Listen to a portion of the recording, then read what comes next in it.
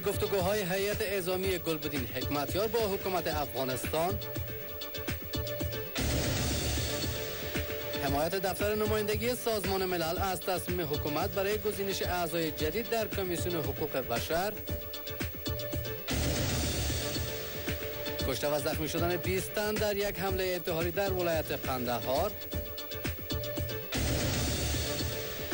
پیشبینی ها از احتمال وقوع جنگ ایران و امریکا. و نگرانی دبیر کل اتحادیه عرب از ادامه سرکوب مردم در سوریه. به خدا و با تقدیم سلام به سرویس خبری این ساعت از شبکه افغان نیوز خوش آمدید. امروز سهشنبه 13 جدی سال 1390 خورشیدی برابر است با سوم جنوری سال 2012 میلادی.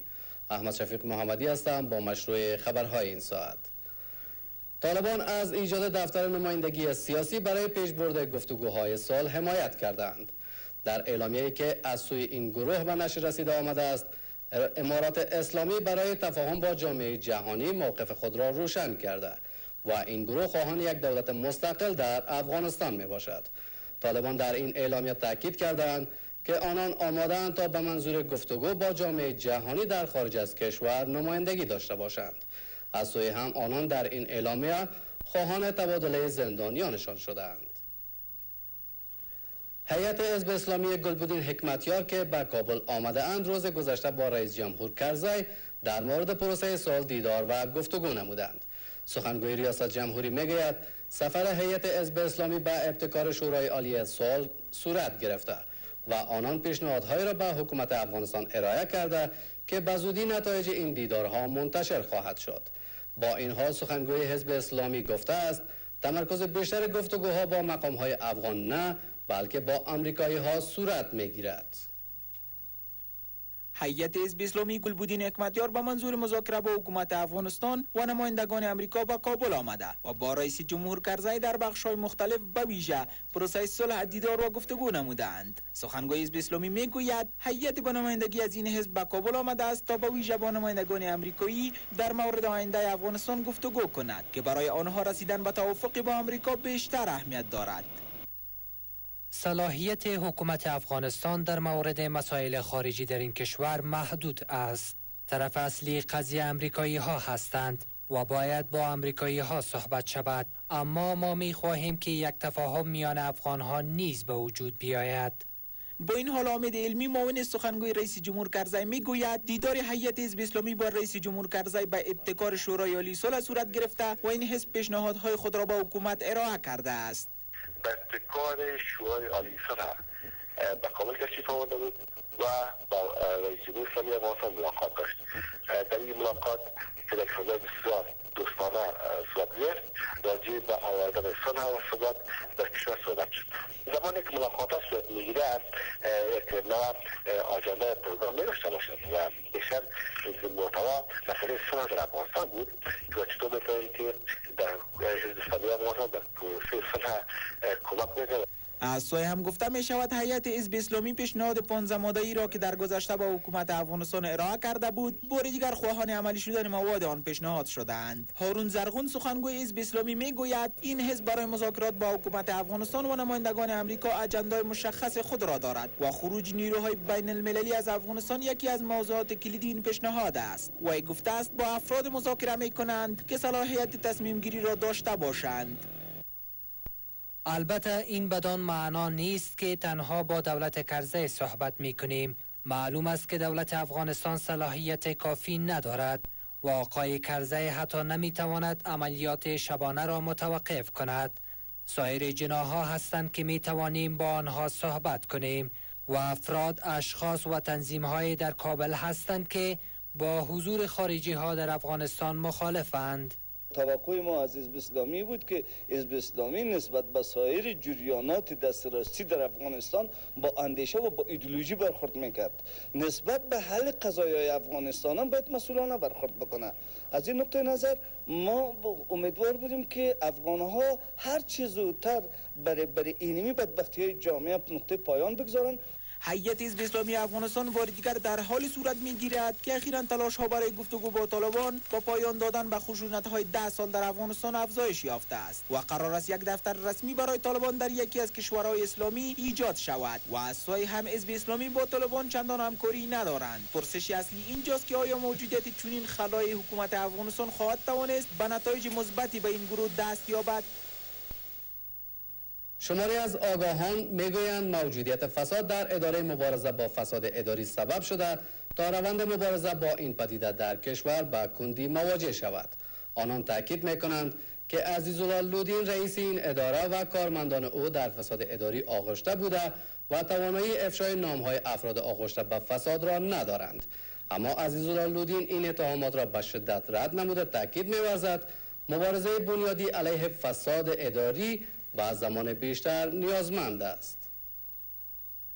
شماری از آگاهان می‌گویند ده سال از حکومت رئیس جمهور کرزی میگذرد اما چندان کار برای مبارزه با فساد اداری در کشور صورت نگرفته و این مسئله سبب شده تا نگرانی های مردم را افزایش دهد. آنان تاکید می کنند که خود اداره مبارزه با فساد اداری به این پدیده شم آغشته بود و کارمندان این اداره به اساس روابط تعیین شدهاند. دغه ادارې چې د فساد په ضد جوړ شوی ده دغه ادارې مسولین د کوم د کوم اصول په اساس تعیین شوي دي خو طبعا د روابطو په اساس نو چون د روابط په اساس تعیین شوي دي هغه شخص د روابط اساس هغه پروژه هغه پروسه هغه په حساب سیستم چې د روابط په اساس ایجاد شوی هغه هیڅ نتیجه نه ورکوي؟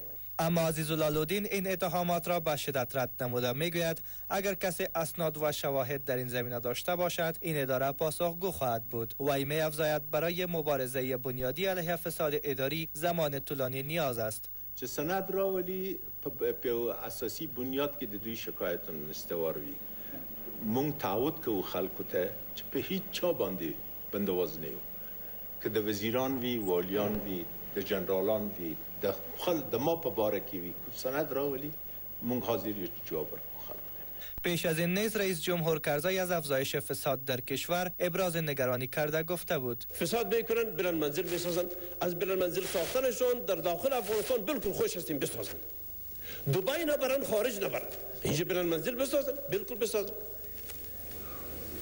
ولی خارج نبرن دوزیای خود در خارج نکنن نبرن. ها در خارج چی می‌کنن؟ اینجا بیارن. ولی از اینجا کرده خارج نبرن. این در حال است که بر اساس بررسی های نهاد شفافیت بین المللی افغانستان از لحاظ فساد اداری مقام دوم را در سطح جهان دارد و کارهای جدی هم در مبارزه علیه این پدیده صورت نگرفته است.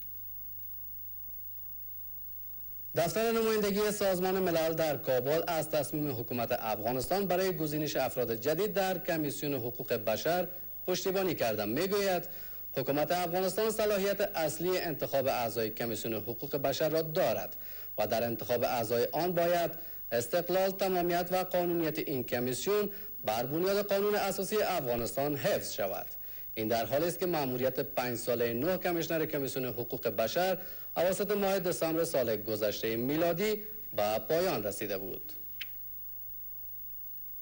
در حالی که حکومت گفته است که زمان کاری نو عضو کمیسیون حقوق بشر به پایان رسیده است و رئیس جمهور کرزی تصمیم دارد تا در مشوره با جامعه مدنی افراد جدیدی را به جای آنان معرفی کند. با این حال یونما دفتر نمایندگی سازمان ملل در کابل از تصمیم حکومت افغانستان برای گزینش افراد جدید در کمیسیون حقوق بشر استقبال کرده می‌گوید. حکومت افغانستان صلاحیت اصلی انتخاب اعضای این کمیسیون را دارد اما باید در انتخاب اعضای کمیسیون مستقل حقوق بشر استقلال تمامیت و قانونیت آن بر اساس قانون اساسی افغانستان حفظ شود. یونما از تصمیم حکومت افغانستان و جامعه مدنی برای تعیین افراد جدید در کمیسیون حقوق بشر که از شایستگی و آگاهی های لازم حقوق بشری برخوردار باشند و از سوی هم روند گزینش آنها شفاف باشد استقبال می کند. به اساس ماده هفتم قانون ساختار و وجایب کمیسیون مستقل حقوق بشر رئیس جمهور افغانستان باید افراد را برای عضویت در این کمیسیون برگزیند که در بخش مربوطه تحصیلات و تجربه کاری داشته باشند. این افراد باید به طرف مستقل و متحد به قوانین حقوق بشری باشند. سازمان حقوق بشری افغانستان از لحاظ وظیفه باید انجام می‌داد که تا اکنون کارهایی را کرده او کارها کلش کارهای تشریفاتی و سطحی بوده. کاری اساسی صورت نگرفته. هنوزم خشونت وجود داره. هنوزم نقض حقوق بشری وجود داره. این در حالی است که پیش از این گزارش های وجود داشت که نادر نادری، فهیم حکیم و غلام محمد غریب سه عضو کمیسیون حقوق بشر از سوی رئیس جمهور کرزی برکنار شده است. اما ریاست جمهوری این اتهامات را رد نموده گفته بود که ماموریت کاری آنان به پایان رسیده است. در نتیجه یک حمله انتهایی در ولایت قندهار پنج تن به شمول یک پلیس کشته و 16 تن دیگر که بیشتر آنان را کودکان تشکیل می‌دهند زخم برداشتند. زلمه ایوبی سخنگوی والی قندهار می‌گوید این انفجار پس از چاشت امروز زمانی به وقوع پیوست که انتحار کننده از سوی پلیس شناسایی و همزمان مواد انفجاری خود را منفجر ساخت قرار است در آینده نزدیک کارت کوپون برای 19 هزار خانواده معلول و آسیب پذیر در شهر کابل توزیع شود. وزارت کار امور اجتماعی قراردادی را به ارزش 3 میلیون دلار با سازمان غذایی جهان به امضا رساند که بر بنیاد آن در مدت 6 ماه به افراد بی‌وضاحت کمک های غذایی صورت می‌گیرد. در حالی که در نتیجه سه دهه جنگ بیش از 15 درصد نفوس کشور معیوب و شمار زیادی هم آسیب پذیر شدند اما دولت در طول ده سال گذشته در زمینه بهبود قشر آسیب پذیر توجهی جدی نداشته است. با این حال قرارداد میان وزارت کار امور اجتماعی شهدا و معلولین و سازمان غذایی جهان به امضا رسید. آمنه افزلی وزیر کار امور اجتماعی می‌گوید بر اساس این قرارداد برای 19 هزار فامیل آسیب پذیر برای مدت 6 ماه از طریق کارت کوپون مواد غذایی توزیع خواهد شد. با مؤسسه محترم WFP قرارداد عقد می‌کنیم که به اساس از او کمک و مساعدت میشن خانواده های آسیب پذیر کشور. که یکی از برنامه ها و پلیسی های وزارت کار امور اجتماعی است. با این حال نماینده سازمان غذایی جهان در کابل بر ادامه کمک های خود در این بخش تاکید می کند ما می خواهیم کمک های خود را در افغانستان به ویژه در بخش پروژه کوپون ادامه دهیم و برای افراد آسیب پذیر کمک نماییم. باز هم می خواهم بگویم که سازمان غذایی جهان به همکاری های بیشتر خود در افغانستان ادامه خواهد داد. در همین حال مقام های کمیسیون اصلاحات اداری از ایجاد سیستم جدید رتب معاشات در وزارت کار امور اجتماعی شهدا و معلولین خبر داده می افزند این سیستم به منظور ارتقای ظرفیت کارمندان این وزارت بوده که می تواند در کاهش فساد اداری نقش موثر داشته باشد. فیضالله کاکر مشاور صحی رئیس جمهور کرزی می‌گوید کمبود ویتامین دی در افراد باعث بیماری های گوناگون به ویژه افسردگی می شود و سرانجام این بیماری سبب می گردد تا افراد به مواد مخدر روی آورند. سرپرست وزارت زنان در کار در کارگاه آموزشی که به منظور فواید ویتامین دی در کابل برگزار شده بود گفت مردم باید از مواد ویتامین دار استفاده نموده و شعاع آفتاب نیز در این زمینه موثر است. قلبی و سکته مغزی ارتباط دادن عالی بر برای این کمبود ویتامین دی. اما یک چیز را ما باید عرض کنم که هر یکی این مشکلات چندین عامل دیگه داره. اینطور نیست که تنها ویتامین دی است که این امراض به وجود میاره. کمبودی از او. بلکه چندین اما ویتامین دی رول بسیار مهم در این امراض داره. باید عقل سالم داشته باشیم تا بتانیم که به همه مشکلات غلبه حاصل بکنیم. به خاطر داشتن عقل سالم صحت درست ضرورت است. به خاطر داشتن صحت درست تغذیه درست ورزش و داشتن افکار مناسب و مثبت ضرورت است مسئولان کمیسیون اصلاحات اداری و خدمات ملکی بعد دلیل ناامنی ها در زون شرق نمی توانند به وظایف خود به صورت اساسی رسیدگی نمایند. نفیس منصف مسئول این کمیسیون در زون شرق می گوید نبود امنیت در شماری از مناطق این حوزه باعث شده تا آنان نتوانند به صورت اساسی به مشکلات مردم رسیدگی نموده و برنامه های اصلاحات اداری را تطبیق نمایند.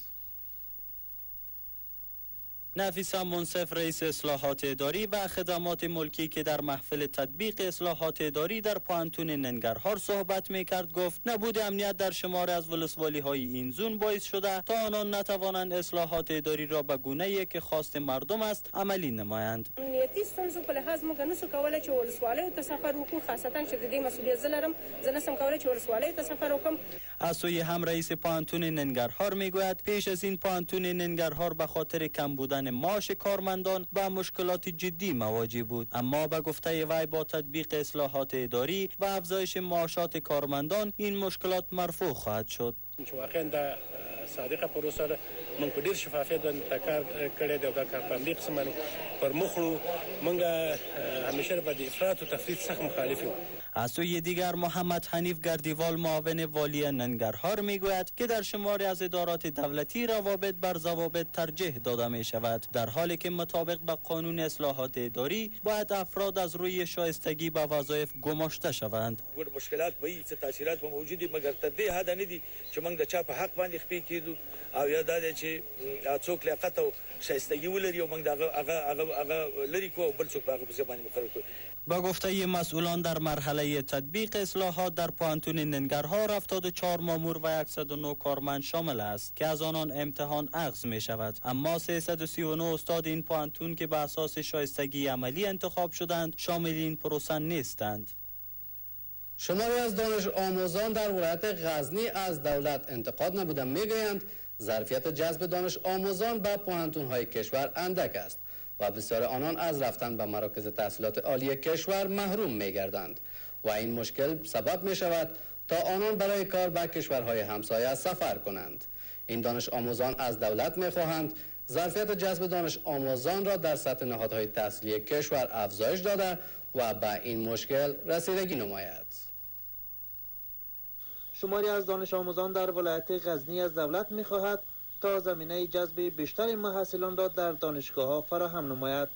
آنان می‌گویند تعداد زیادی از اشتراک کنندگان کانکور در صورت جذب نشدن به دانشگاه های افغانستان روانه کشورهای خارجی به صورت غیر قانونی می شوند خواست ما از وزارت تحصیلات عالی این است که جلب و جذب را زیاد کند به خاطر که یک لگ هزار نفر امتحان کانکور میدن اونا نصفشان به نتیجه میمونند وقتی که اونا به نتیجه ماندن چی کار کنند ثانیا اگر به نتیجه بمونیم مجبوریم که کشورهای خارج بریم دیگه. ایران بریم پاکستان بریم برای کار بریم.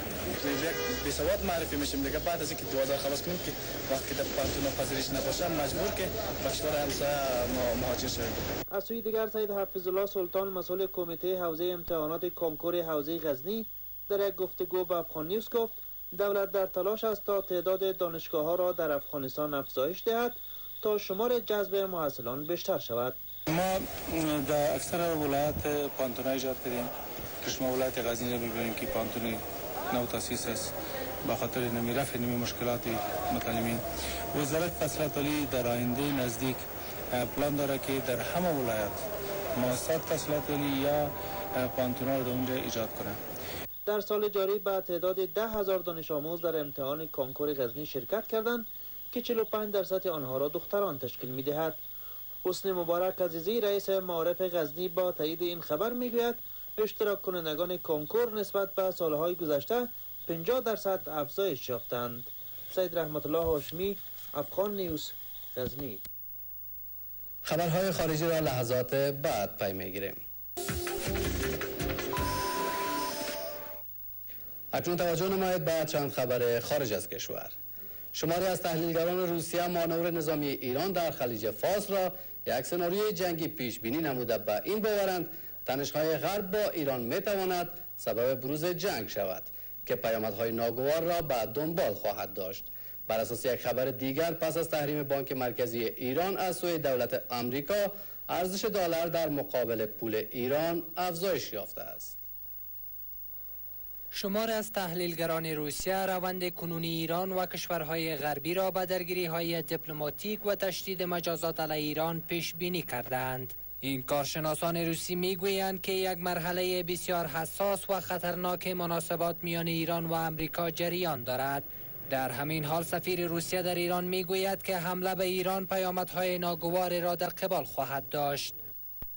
موضوع روسیه تغییر ناپذیر و بسیار شفاف است. مسکو حمله بر ایران را یک اشتباه بسیار بزرگ می داند که پیامدهای سنگین و غیر قابل پیش بینی را به دنبال خواهد داشت.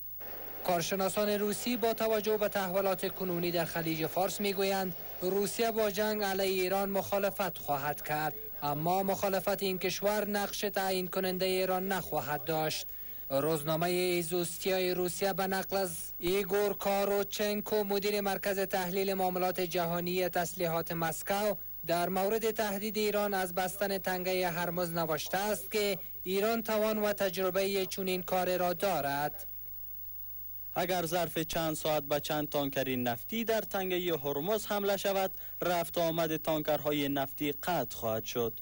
ایران تنگه هرمز را از طریق مینگذاری هم می تواند مسدود کند. از سوی دیگر ایران به مقدار زیاد کشتی های کوچک مسلح با توپخانه های سنگین دارد که کشتی های جنگی کشورهای غربی هم نمی توانند کاملا جلو حمله آنها را بگیرند. این روزنامه روسیه همچنان در پایان مقاله خود به این مسئله هم اشاره کرده است که تحریم نفت ایران سبب خواهد شد که چین با قیمت نازل نفت را خریداری نماید گروه دیگر از کارشناسان روسی از سناریوی جنگ کامل و همه جانبه امریکا علیه ایران صحبت می کنند. این تحلیلگران احتمال جنگ علیه ایران را حتمی می دانند. زمینه جنگ اکنون فراهم شده و بروز جنگ عینی است. کشورهای عربی حوزه خلیج فارس، امریکا و ایران اکنون آماده جنگ هستند. سیر تحولات به سوی یک جنگ کامل است. برای دولت ایران جنگ علیه امریکا و متحدانش فاجعه بار خواهد بود. از سوی دیگر دو روز پس از تحریم بانک مرکزی ایران از سوی امریکا ارزش پول های عمده جهان در برابر پول ایرانی در بازار ایران به شدت افزایش یافته است.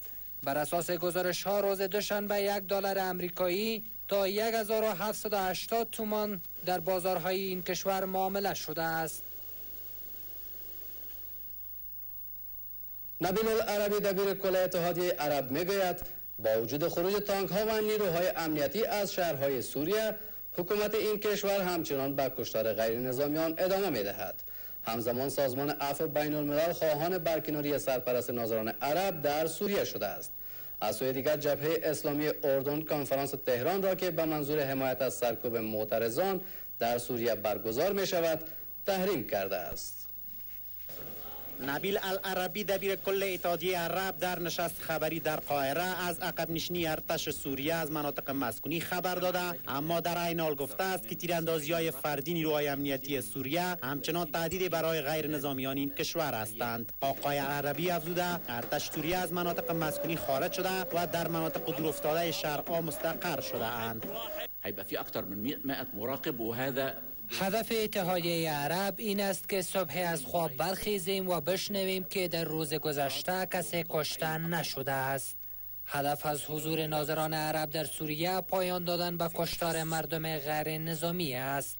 تا زمانی که کشتار مردم ادامه یابد، ماموریت ما موفق نخواهد بود. يعني لابد ان تكون الحكومه السوريه قد قامت بهذه الاعمال دبیر کل اتحادیه عرب از گروه های اپوزیسیون و مردم سوریه خواست که نام مفقود شدگانی را به ناظران بدهند که گمان می رود در بازداشت به سر می برند دبیر کل اتحادیه عرب همزمان تایید کرد دولت سوریه نیز تا کنون 3484 نفر را از زندان آزاد کرده است. وی گفته است دولت سوریه از سفر سه تیم تلویزیونی به این کشور جلوگیری کرده اما برای 150 خبرنگار خارجی ویزا صادر کرده است. نیروهای اپوزیسیون ضمن انتقاد از کار ناظران می‌گویند به دلیل حضور ماموران سازمان استخبارات سوریه مردم از نزدیک شدن به ناظران می ترسند العربی در این مورد افزوده است که ناظران اتحادیه عرب سعی دارند تا کمک گرفتن از نیروهای امنیتی را کاهش دهند. خبرگزاری های خارجی با انتشار گزارش های ویدیویی انتقادهای اپوزیسیون نسبت به کار ناظران عرب را تایید می کنند اما جنرال الدابی سرپرست ناظران عرب در گفتگو با رسانه های بریتانیایی مدعی شده است که هیچ گروهی از نیروهای امنیتی در شهرهای سوریه دیدن نمی شود اما همزمان سازمان عفو بین الملل خان برکناری سرپرست ناظران عرب در سوریه و تعیین فرد جدید به جای وی شده است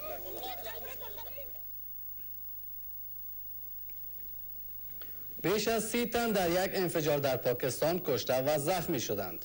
مقام های امنیتی پاکستان اعلام کردند مقدار مواد انفجاری که در یک موتورسایکل جاسازی شده بود در جاده ارباب شهر پشاور منفجر شد که در نتیجه آن یک تن کشته و سی تن دیگر زخم برداشتند و تا کنون مسئولیت این رویداد را کسی به عهده نگرفته است.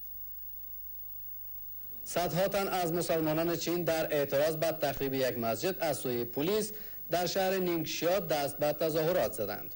گروه های حقوق بشر اعلام کردند تظاهرات زمان آغاز شد که پلیس اعلام کرد ساختمان این مسجد غیر قانونی است. با این حال مقام های چینی تخریب مسجد را تایید کرده و از بازداشت شماری از تظاهر کنندگان خبر می دهند.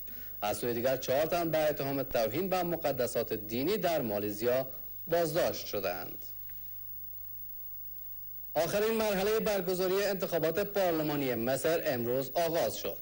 پس از این دور انتخابات مجلس عالیه مصر آغاز و انتظار می رود شورای نظامی حاکم در مصر جای خود را به غیر نظامیان تحویل دهد.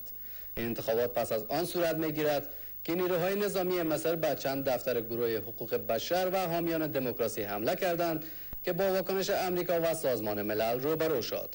اما دولت مصر از حمله نیروهای امنیتی به دفاتر این گروه ها دفاع کرده بود. این بود خبرها تا این ساعت از توجهتان جهان سپاس شاد و کامگار باشید